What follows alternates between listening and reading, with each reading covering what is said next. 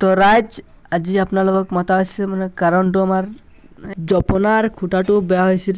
নতুন খুটা এটা পুতিম আপোনালোকৰ নিয়মটো কৈ দিয়ক। অলপ আগবাঢ়ি আহক।